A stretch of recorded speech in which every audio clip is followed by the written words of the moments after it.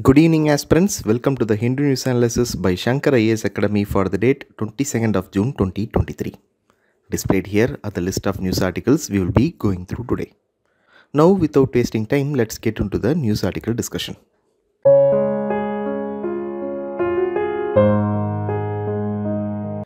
Look at this news article. This news article is about the upcoming visit to the United States by our Prime Minister. In 2019, during our Prime Minister's visit to the United States, India based oil and gas company Petronet LNG signed an MOU with US based oil and gas company Tellurian. Here, Petronet LNG Limited is a Indian oil and gas company formed by the government of India to import liquefied natural gas and set up LNG terminals in our country. It is a joint venture company promoted by GAIL, that is the Gas Authority of India Limited, ONGC, which is the Oil and Natural Gas Corporation Limited, then IOC, which is the Indian Oil Corporation Limited, and the BPCL, that is Bharat Petroleum Corporation Limited. According to the MOU between Petronet and Tellurian, Petronet LNG planned to invest $2.5 billion in Tellurian. But by 2020, the MOU was terminated. India traditionally met its LNG requirements from Gazprom Limited, which is an Russian based company. But currently, due to the Russia Ukraine war, there has been some disruptions in the LNG supplies from Russia. So, India is looking for other suppliers of LNG. As a part of this exercise only, GAIL, which is one of the promoters of Petronet, is looking to revive the MOU with the US based Tellurian. This is about the news article. In this context, let us see some important points about LNG, its advantages, its disadvantages, and how it is different from CNG.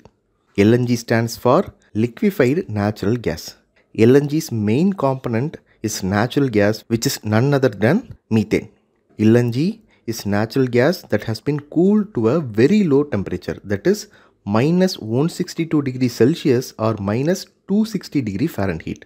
This is done to convert the natural gas into a liquid form.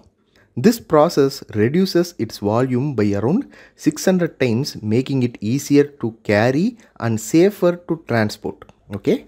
Now let us see the advantages of LNG. First one is energy efficiency. LNG has a high energy density meaning it contains lot of energy in a very small volume. This makes it an efficient fuel source. Secondly, LNG has lower environmental impact. When LNG is burned, it produces fewer emissions compared to other fossil fuels such as coal and oil. It emits lower level of pollutants such as sulfur dioxide, nitrogen oxides and particulate matter. The third advantage is its versatility. LNG can be used in various applications including electricity generation, heating, vehicle for fuels, etc. The last major advantage is its abundant supply. Natural gas reserves are widely available around the world, ensuring a steady supply of LNG. These are some of the advantages associated with LNG. But it also has its fair share of issues.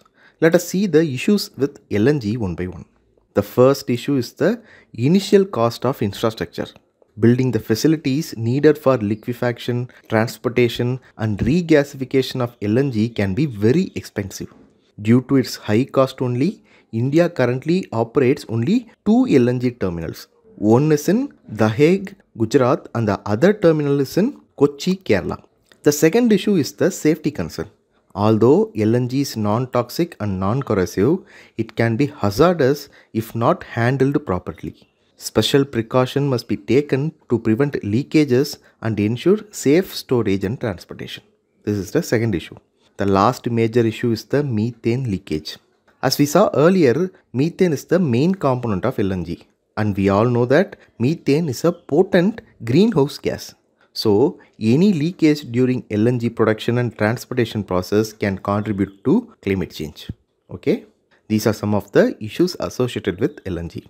Moving forward, let us see the difference between LNG and CNG. The main difference between LNG and CNG lies in their state of matter and the way they are stored. Here LNG is liquefied natural gas and CNG is compressed natural gas. From the name itself we can say that LNG is stored in a liquid form and CNG on the other hand is stored in a compressed gaseous form. This is the first major difference.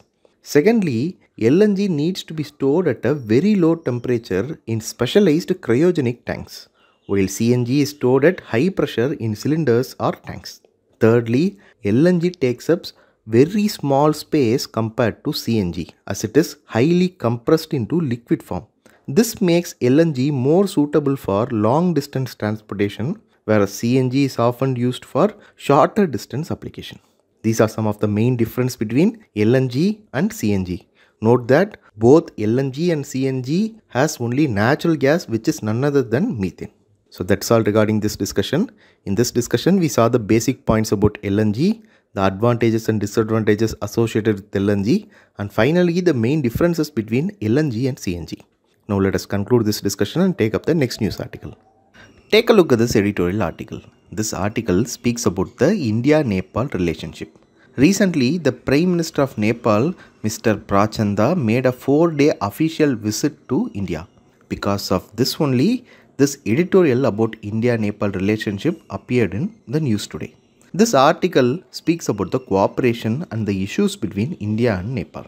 Now in this discussion, we will understand the India-Nepal bilateral relationship and then about the areas of cooperation and the issues between India and Nepal. Before getting into the discussion, I have highlighted the syllabus regarding this discussion. You can go through it. Now let us start with the India-Nepal relationship. As we all know, India and Nepal are close neighbors. Nepal shares a border of over 1850 kilometers with India. The border runs along five states of India namely Sikkim, West Bengal, Bihar, Uttar Pradesh and Uttarakhand. India and Nepal share a unique friendship and cooperation. It is characterized by an open border and deep-rooted people-to-people contacts with kinship and culture. In addition to this, there has been a long tradition of free movement of people across the India-Nepal border. The special relations that currently exist between India and Nepal is due to the Friendship Treaty. In 1950, India-Nepal Treaty of Friendship and Peace was signed and this forms the bedrock of India-Nepal relations. As per the provisions of this treaty, the Nepali citizens are availing various facilities and opportunities in India on par with Indian citizens. The treaty permits the Nepali nationals to apply for any government job except for the Indian Foreign Service, Indian Administrative Service and Indian Police Service. Currently, many Nepali nationals work in the Indian private and the public sector. Some of them have joined even the Indian Revenue Services and they are serving in the Indian Army also. Note that nearly 8 million Nepali citizens are living and working in India. Around 6 lakh Indians are living in Nepal which include businessmen, traders, professionals and laborers. So, for diplomatic purposes, the government of India has its embassy in Kathmandu and a consulate general in Birgunj which is located in the south central part of Nepal. The government of Nepal has a embassy in New Delhi and a consulate general in Kolkata. This is the basic information about India-Nepal relations. Moving on, let us deep dive into the area of cooperation between India and Nepal. Let us first take defense cooperation. India and Nepal have a wide range of cooperation in the defense sector. India has been assisting the Nepal army in its modernization by supplying military equipment and providing training to the soldiers. The other aspects of defense cooperation between India and Nepal include assistance during disasters, joint military exercises and adventure activities. As part of the defense cooperation, the India-Nepal battalion level joint military exercise named Surya Kiran is conducted alternatively in India and in Nepal. In addition to this, considerable soldiers in the Gurkha regiment of Indian Army are recruited from the hill districts of Nepal. Currently, about 32,000 Gurkha soldiers from Nepal are serving in the Indian Army. This is all about defense cooperation. Now we will look at the cooperation in the connectivity and development sector. India is currently providing various developmental assistance to Nepal. The main focus is given to the creation of infrastructure at the grassroots level. Under the assistance program of India, various projects have been implemented in Nepal. The projects are being carried out in the area of infrastructure, health, water resources, education and rural community development. Apart from this, in recent years, India has been assisting Nepal in the development of border infrastructure. India helped Nepal in upgradation of 10 roads in the Terai region, the development of cross-border railway links and establishment of integrated checkposts at various locations. This is all about the cooperation in the connectivity and development sector. Now we will see the cooperation in the water resource sector. A large number of small and large rivers flow from Nepal to India. They constitute an important part of the Ganges river basin and they are the major source of irrigation and power for both Nepal and India. So, to better utilize the water resources, a three-tier bilateral mechanism was established in 2008. This mechanism helped both countries to discuss issues relating to cooperation in water resource, flood management, inundation and hydropower. Moving on, we will see about the cooperation in the energy sector. See, since 1971, India and Nepal have signed several power exchange agreements. The agreements were enacted to meet the power requirements in the border areas of the two countries. On 21st October 2014, an agreement on electric power trade, cross-border transmission interconnection and grid connectivity was signed between India and Nepal. The agreement is aimed at strengthening cross-border electricity transmission, grid connectivity and power trade between Nepal and India. Now we will look at the economic cooperation. See, India is the largest trading partner of Nepal. Petroleum products, rice, medicine, cement, coal, vegetables, etc. are some of the main products exported to Nepal from India. Indian firms are among the largest investors in Nepal. Indian firms account for more than 30% of the total approved foreign direct investment in Nepal. Note that there are more than 150 Indian ventures operating in Nepal and they are engaged in manufacturing, services, power sector and tourism industries. This is about the economic cooperation between Nepal and India. Moving on, we will see about the cooperation in the education sector. See, India significantly contributes to the development of human resources in Nepal. The government of India provides around 3000 scholarships annually to Nepalese nationals for various courses. The scholarships cover wide spectrum of subjects including engineering, medicine, agriculture, music, fine arts, etc. Now we will see the cooperation in the area of culture. India has taken many initiatives to promote people-to-people -people contacts in the field of art and culture, academics and media. India has organized several cultural programs, symposia and events in Nepal in partnership with different local bodies of Nepal. In 1951, the Nepal Bharat Library was founded in Kathmandu. It is regarded as the first foreign library in Nepal. Its main objective is to enhance and strengthen cultural relations and information exchange between India and Nepal. Then in August 2007, the Swami Vivekananda Center for Indian Culture was set up in Kathmandu to showcase the best of the Indian culture. The center has generated considerable goodwill through various cultural events as well.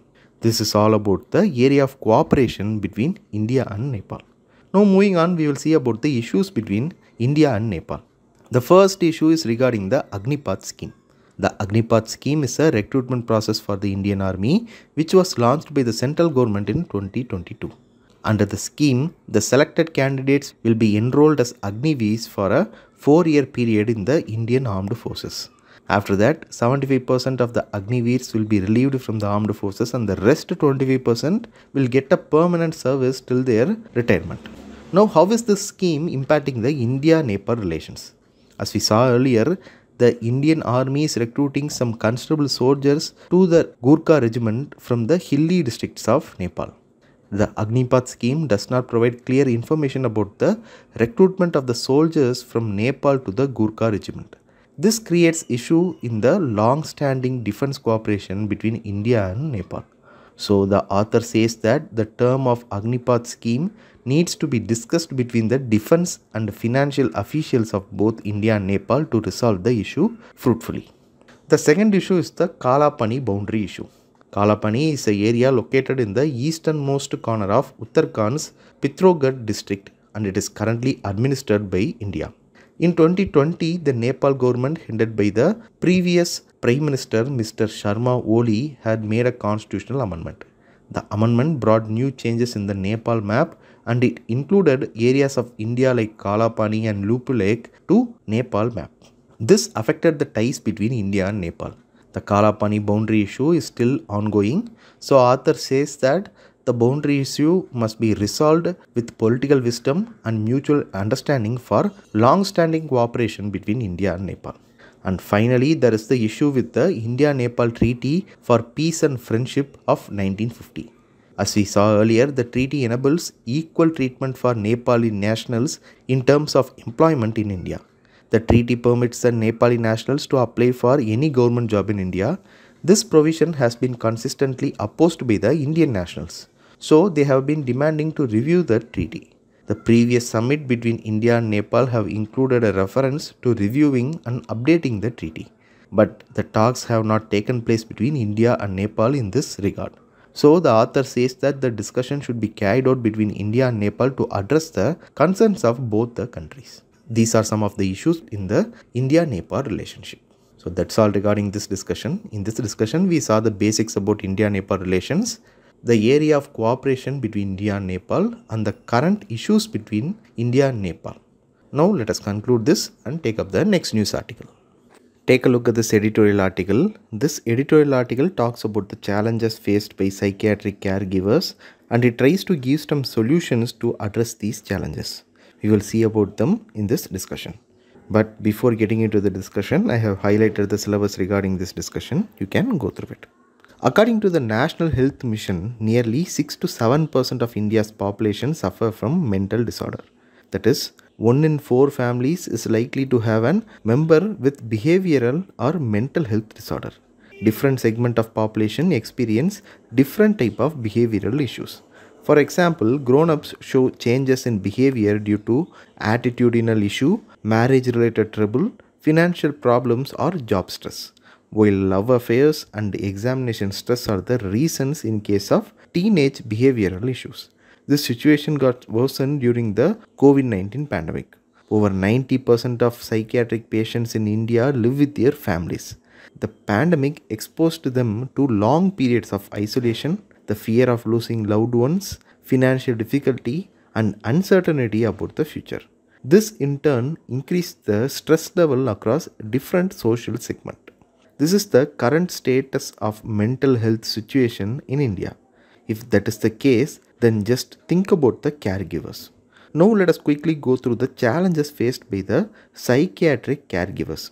See, psychiatric caregivers are none other than members of family who provide care to the people who are facing behavioral disorders. Okay, the caregivers provide physical and emotional caregivings to patients who are socially isolated with financial difficulties and troublesome behavior. The stress levels of caregivers reach to the next stage when a patient refuses to adhere to the treatment. This is the first challenge that the psychiatric caregivers face. The second challenge is striking a balance between caregiving and familial responsibility. In this case, the women caregivers are the most affected. With a reduced family size, the familial responsibilities fall mostly on the woman, and the woman caregivers face challenges in balancing caregiving, career, child rearing, and household chores. The third challenge is being unaware of negative impacts of psychological well-being of caregivers due to prolonged caregiving. See, mostly caregivers use various strategies to cope with the issues they face like sharing, spirituality, hobbies, and self-gaslighting.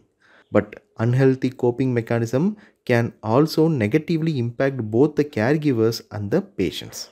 In most of the cases, the caregivers never realize that they are having a negative impact. The fourth challenge is the lack of institutional support. See, India has 43 state-run mental health institutions with 3,800 psychiatrists and 900 clinical psychologists. That is, one psychiatrist for every 4 lakh and one psychologist for every 16 lakh citizens. But both the National Mental Health Program and the decentralized district mental health program focus only on the patient and neglect the caregiver. Insufficient budget allocation also hinders the development of intervention for psychiatric caregivers. Apart from this, mental illness are excluded from the list of ailments covered by leading medical insurers in India. Lack of these institutional support is also a challenge faced by the psychiatric caregivers. Now we will see the solution to address these challenges. The first solution is to establish a structured intervention program to educate and support the caregivers of psychiatric patient. In this program, the caregiver should be educated about the illness and their role and responsibility. This will lead to a better sense of control over their own life and helping to cope with the caregiver's role. Secondly, to reduce the burden faced by caregivers, families who take care of the patient should be educated through psychoeducational meetings. In such meeting, family members should be given brief overview of the condition they should also be educated about the current symptoms, early warning signals of relapse, available therapies and their effectiveness, safety of treatment, side effects, treatment related expenses, burden and coping mechanism. Through this step, burden of taking care of a patient can be shared between the caregivers and the families. Thirdly, caregivers should receive behavioral intervention, counseling and helplines to manage their anxiety and stress. This can save caregivers from negative impacts of psychological well-being of caregivers due to prolonged caregiving. And finally, improving institutional mechanism like insurance coverage and enough budget allocation can also help the caregivers. These are the some of the steps suggested in the articles that can be taken to address the challenges faced by psychiatric caregivers. So that's all regarding this discussion. In this discussion, we saw the challenges faced by psychiatric caregivers and the solutions that are available at hand. Now with this let us conclude this discussion and take up the next news article. Look at this article here. Recently, the 26th edition of St. Petersburg International Economic Forum was held in Russia's second largest city, the Kremlin. As we all know, Russia is currently facing unprecedented Western sanction due to its war with Ukraine. But in the recently held St. Petersburg International Economic Forum, Russia made its message clear to the entire world. Russia said that the economy of Russia is holding up despite economic sanctions. Russia also insisted that it keeps looking for alternative economic and geopolitical partnerships to navigate the challenging times. This is all about the news given here. In this context, let us learn some points about the St. Petersburg International Economic Forum or SPIEF. The SPIEF is an annual business event that is usually held in any of the cities of Russia. It is one of the biggest and the most important business event in the world. The forum has been held since 1997 and since 2006 the forum has been held under the auspice of Russian president who used to participate in each year's event. The event is annually organized by the Russian government Every year, thousands of people from over 120 countries take part in the event. The forum brings together various stakeholders like the chief executives of international companies, political leaders, and head of states and government from various countries. The forum provides a platform for participants to exchange best practices and expertise in the interest of sustainable development. Moving on, let us see the objectives of the forum. The main motive of the forum is to provide practical solutions and expertise to overcome the economic barriers between Russia and other countries. The forum mainly aims to attract foreign direct investment into Russia. Apart from this, the forum also acts as a platform to discuss economic policy of Russia. To put it simply, the St. Petersburg International Economic Forum helps the Russian government to project a global image that Russia was open to global business. Over the past 25 years, the forum has emerged as a leading international event by focusing on key issues on the global economic agenda. That is all regarding this discussion. In this discussion, we saw a few points about the St. Petersburg International Economic Forum. Now let us conclude this and take up the next news article. Look at this article it discusses about the recent Bonn Climate Conference and the need for a new finance goal for addressing climate change.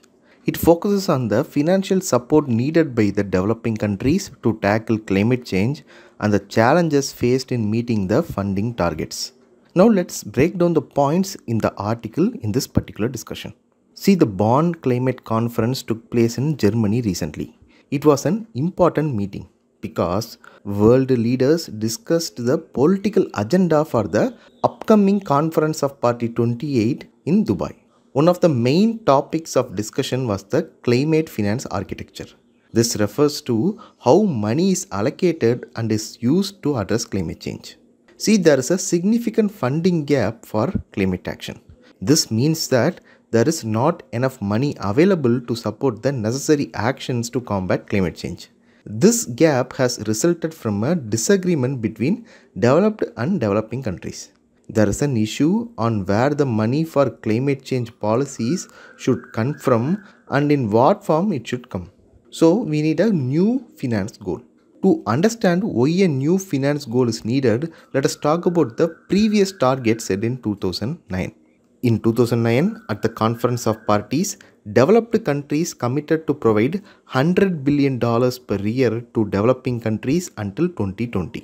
However, estimates since then has shown that addressing climate change requires a lot more money. There have been challenges in meeting the funding target of $100 billion per year. Developed countries provided $83.3 billion in 2020, according to a report.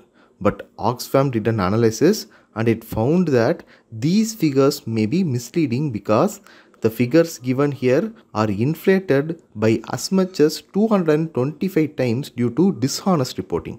So they have not even met the target of providing $100 billion per year but this $100 billion per year is not sufficient for addressing the climate change. So the actual amount of money reaching the developing countries could be a lot more lower than promised. I hope this explains why we need a new global finance goal. So in 2015 Paris Climate Agreement, a need for a new collective quantified goal for climate financing before 2025 was recognized. See at that time a need for a new goal was recognized but no number was fixed. The new collective quantified goal is an important goal because it determines how much financial support should be provided to developing countries.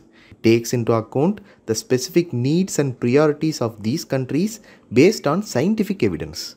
It was also supposed to address the increasing funding required for loss and damages. Here loss and damages means the cost incurred due to impacts of climate change. Now why was there a discrepancy in achieving the target set in 2009?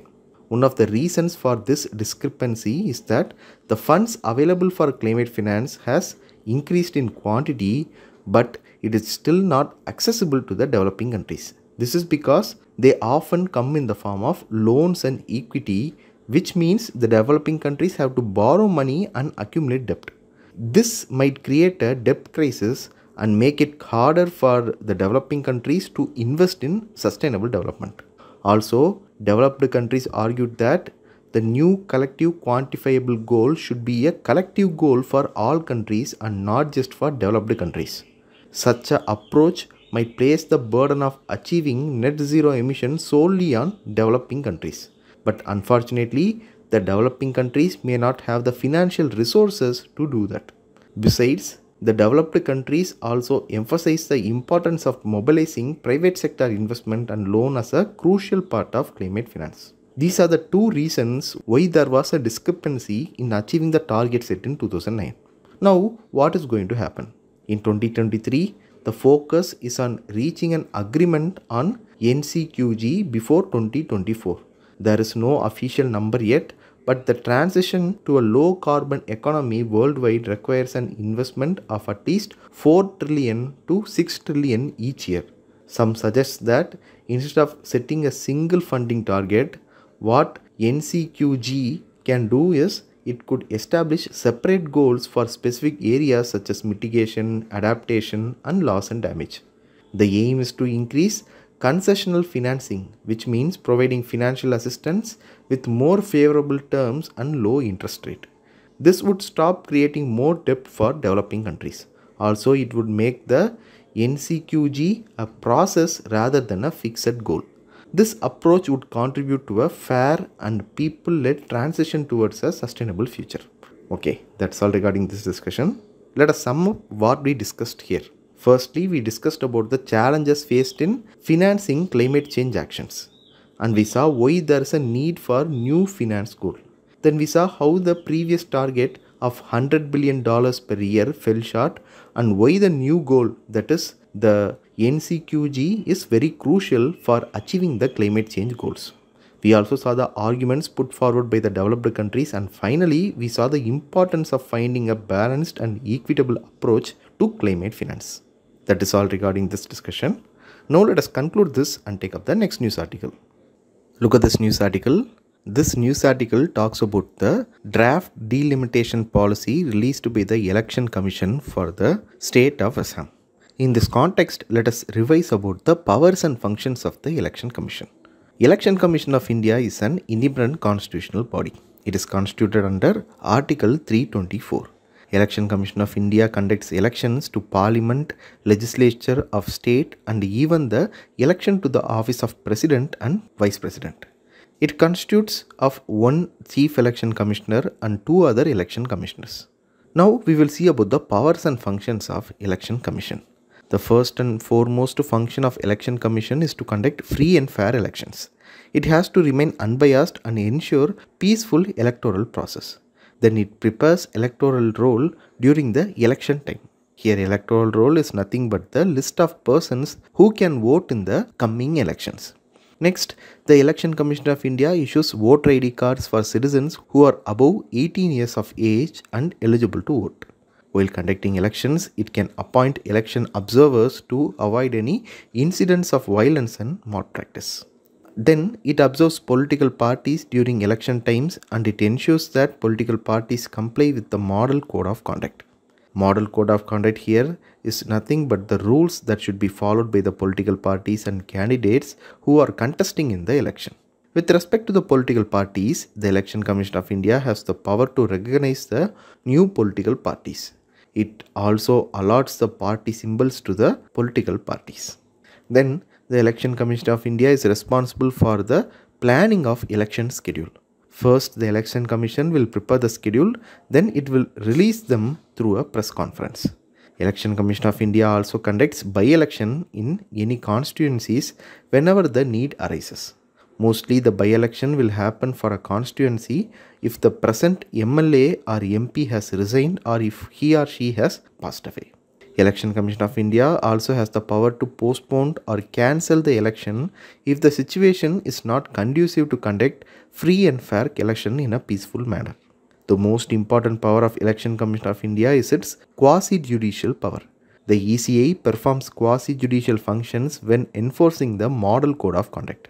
Note that the Election Commission of India can initiate delimitation exercise for an assembly or parliamentary constituency as per section 18A of the Representation of Peoples Act 1950. Based on this provision only, the Election Commission has recently released the draft proposal for delimitation for the state of Assam. So that's all regarding this discussion. In this discussion, we saw some of the powers and functions of the Election Commission of India. Now let us conclude this discussion and take up the next news article. Look at this news article. This news article is about India-US relation. The US House of Representatives Committee on China recommended to confer India with the NATO plus 5 defense status. In this context, US Senator Mark Warner will introduce the legislation to give the NATO plus 5 status to India. Mr. Warner said that this agreement will enable India and US to transfer defense equipments with very little bureaucratic interference. NATO plus 5 status will also deepen the defense ties between US and India and it will be useful for countering China's assertiveness in the Indo-Pacific region. But India's external affairs, Mr. Jaishankar politely turned down the framework for India. This is about the article given here. In this context, let us see some points about NATO and NATO plus 5 briefly. First, let us look at NATO. NATO stands for North Atlantic Treaty Organization. It was created in 1949 and US started this organization to provide collective security for its members against USSR at the Cold War era. At present, NATO has 31 members. The list of member countries are given here for your reference. Have a look at it. The purpose of NATO is to guarantee the freedom and security of its members through political and military means. The motto of NATO is that one for all and all for one. This means that if you attack a member of NATO, then all the member countries of NATO will come together for its rescue. Okay, moving forward, we will see about NATO plus 5 status. NATO plus 5 includes 31 member countries of NATO along with 5 more member countries. These countries include Australia, Japan, South Korea, New Zealand and Israel. Now US is ready to include India in this grouping. If India joins this group, then it will have a greater military backing and can have access to many advanced military technologies that US have. But our external affairs minister turned down this offer because joining the NATO plus 5 could affect India Russia ties. This expresses India still stands by the non aligned policy. But we cannot be sure what will happen in the future, so we will have to wait and see how the progress develops. Okay, so that's all regarding this discussion. In this discussion, we saw the basics about NATO and NATO plus 5. Now let us conclude this and take up the next news article. Look at this article. This article is about the Global Gender Gap Index 2023. Recently, the World Economic Forum released the Global Gender Gap Index 2023. In that report, India was ranked 127 among 146 countries. The report says that India has closed 64.3% of the overall gender gap. India had performed well in areas like parity in wages and income, political empowerment, and gender parity at birth. India has registered 25.3% parity in political empowerment with 15.1% of women MPs. One important point note here is that India had achieved 44.4% of women representation in local governance. Similarly, India has achieved 92.7% in gender parity at birth, which is almost on par with top scoring countries. But when it comes to parity in economic participation and opportunity, India has reached only 36.7%. These are the key highlights of the report. So, today in our discussion, we will look at the Global Gender Gap Index. The Global Gender Gap Report is released annually by the World Economic Forum. It was released for the first time in 2006. Global Gender Gap Report evaluates the gender parity of countries based on four key dimensions. The four key dimensions are economic participation and opportunity, educational attainment, health and survival, and political empowerment. In the recently released report, Iceland has secured the first position consecutively for the 14th time. And as we discussed earlier, India has secured the 127th rank. That is all regarding this discussion. In this discussion, we saw some points from the Global Gender Gap Report 2023 and we also covered some basics. We have four practice prelims questions today. Let us see them one by one. Let us take up the first question. This is a three statement question. Three statements about Election Commission of India is given. We have to find how many of the given statements are correct. Let us take up the first statement. It is an independent statutory body. This statement is incorrect because the Election Commission of India is a constitutional body and not a statutory body. Let us take up the second statement. It was always been a multi-member body. This statement is also incorrect because the Election Commission of India was a single member body till 1989. In 1989, through the 61st Constitutional Amendment Act, the voting age was reduced from 21 to 18. Hence, to ease the burden of the election commissioner, two more election commissioners were appointed and then only the election commission of india became a multi-member body so statement 2 is incorrect moving on to the third statement it conducts election for the office of president and vice president this statement is correct because from our discussion we know that the election commission of india is responsible for conducting elections to the state legislature parliament and for the office of president and vice president since only one statement is correct here the correct answer here is option A, only one. Moving on to the second question. Here four countries are given. We have to find which of the countries are part of the NATO plus 5 arrangement. From our discussion, we know that Australia, Japan, South Korea, New Zealand and Israel are the five countries which are part of the NATO plus 5 arrangement. Here Ukraine and Taiwan are not the part of the NATO plus 5 arrangement. So the correct answer here is option B, only 2. Moving on to the third question. Two statements about the St. Petersburg International Economic Forum is given. We have to find whether the statements are correct or not.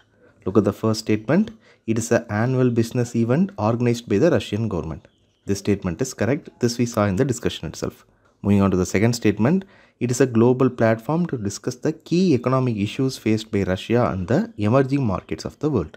This statement is also correct. Since both the statements are correct, the correct answer here is option C, both 1 and 2. Look at the last question. This is a quiz question for you today.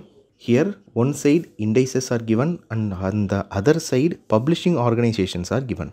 We have to find how many of these four pairs are correctly matched. Interested aspirants can post the answer for this question in the comment section. The mains questions based on today's discussion are displayed here. Interested aspirants can write the answers for these questions and post it in the comment section. If you like today's video, like, comment and share it with your friends. For more updates regarding UPSC preparation, subscribe to Shankar IAS Academy's YouTube channel. Thank you for listening.